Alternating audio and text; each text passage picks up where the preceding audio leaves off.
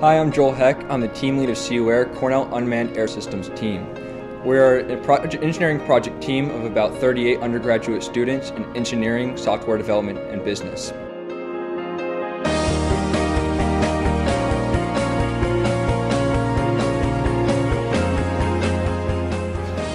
We compete in the AUVSI Student Unmanned Air Systems competition against 40 other teams from around the world. In this competition, we are challenged to create an unmanned air system which has to complete a variety of tasks. These tasks include autonomous unmanned flight, or autonomous flight, uh, waypoint navigation, image processing.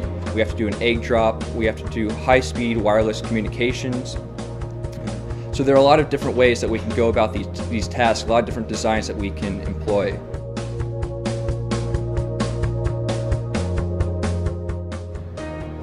The team dates back to 2003, where we went to the first AUVSI SUAS competition. It was us versus NC State, and that year we took home first.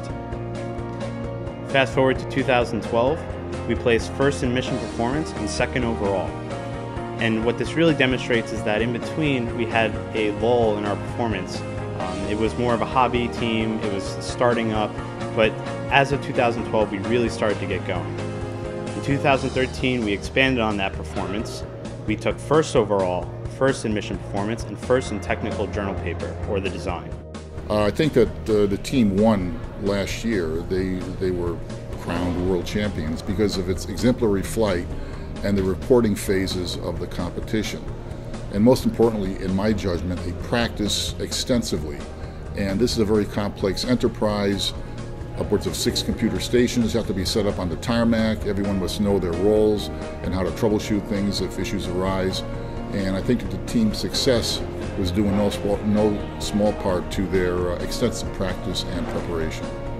When we go to competition, it's a really great experience to see all the other student teams, to talk to other students, and to see the different ideas and designs that they have and that they've brought to the competition so that we can learn from them and they can learn from us and we can both improve uh, in future years. So the airframe team uh, goes through the complete uh, airframe uh, design process, and then we build a, the, um, the custom uh, airframe that we use for the competition. For people who are interested in going into aerospace, we are directly incorporating techniques that they would be using in the real world. So that the skills that people learn through that can be applicable anywhere. Also, our uh, aerodynamic analysis of the airplane um, can be applied to, you know, rockets, airplanes, helicopters, gliders, you name it. So the autopilot subteam is composed of five different members, and our task is basically to ensure that the plane flies smoothly throughout its flight. So we don't get to control the hardware, but we get to control all the software and all the electronics that you know govern the flight of the plane. So we have to make sure it flies uh, smoothly, stably, and then we have to actually operate it and ensure that it's flying all its waypoints, retask it during flight, all those things so we can accomplish the mission. The business sub team is responsible for the marketing, fundraising, and out outreach efforts of CU Air. We're also responsible for managing the website and social media pages.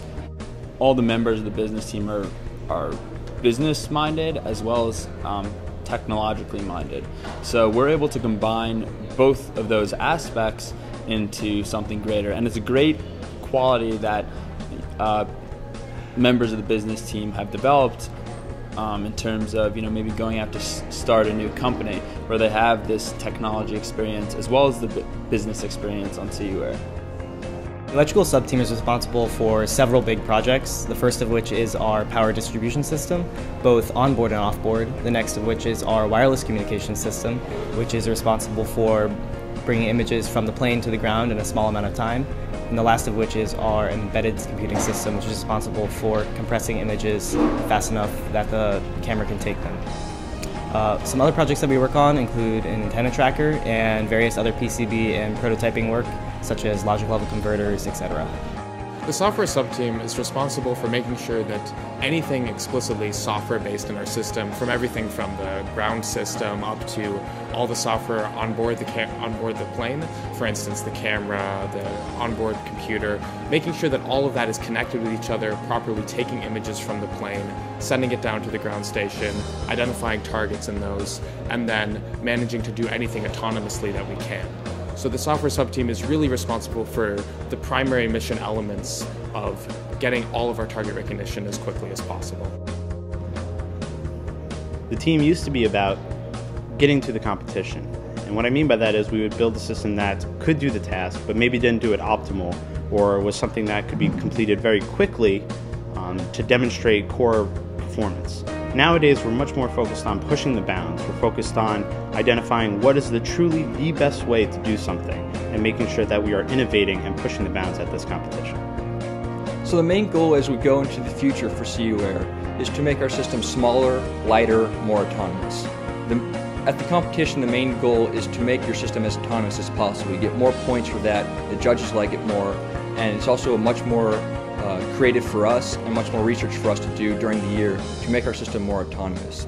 I, I would also uh, like the team to, uh, and the team is doing this, to adapt to changing technologies, both in airframe configuration and system integration of autopilot functions uh, and so forth.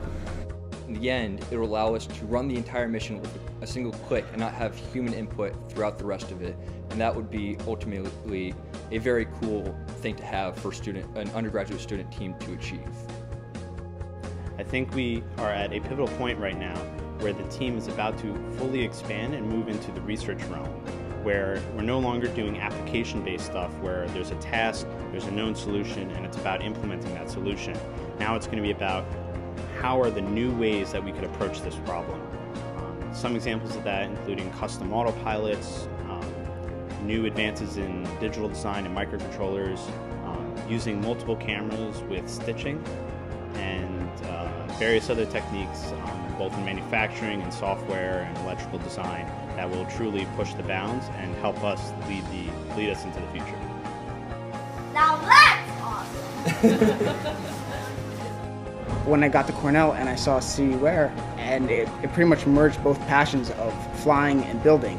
And I was lucky enough to be accepted onto the team, and so far it's great. I, re- I really love it. My favorite part is probably not necessarily the technical part, so being able to work on an awesome aircraft or build an amazing UAV or work with parts that I would never get to work with anywhere else.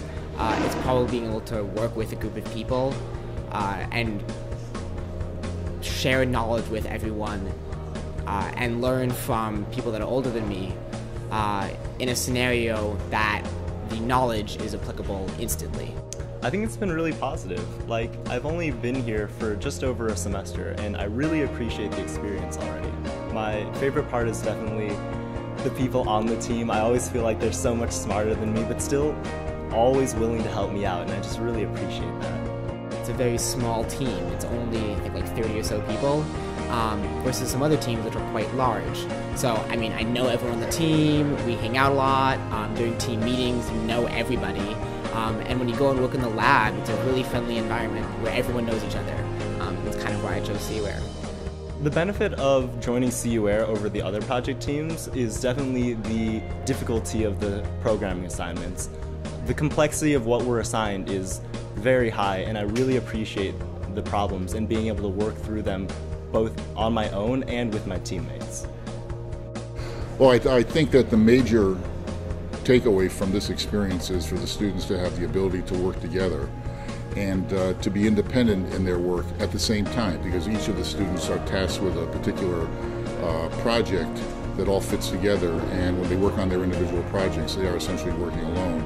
But everything fits together. So it's the ability to work on the one hand together and on the other hand to be, in, to be independent. A big reason why we've been so successful in this is because of the mutually beneficial relationships that we try and foster uh, with sponsors. So we, we, they come recruiting to us, and we send them a lot of, uh, you know, very smart engineers as well as business-oriented people um, that go to these companies and make a huge difference. And that's a huge reason why we've been so so successful with our fundraising.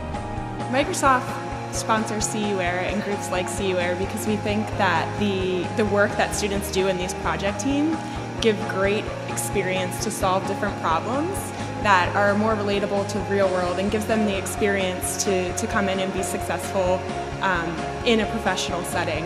So it gives you the opportunity to solve different problems while also using some of the skills that you're, you're learning inside of the classroom. Our sponsors are an integral part of our team. Our team really relies on donations and mentorships that our sponsors give us.